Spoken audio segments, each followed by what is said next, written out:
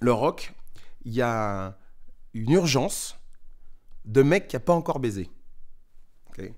La soul, il y a l'apaisement du mec qui a beaucoup baisé. La funk, il y a la soif du mec qui a déjà baisé mais qui a encore envie de baiser. Ça, pour moi, il y a- il y a cette nuance-là, vraiment. Euh, et je vous demande de réécouter du rock, de la funk et de la soul pour voir si j'ai pas raison. Mais là, je suis persuadé de ça. Vraiment. C'est un truc. euh, c'est une théorie que je dépose.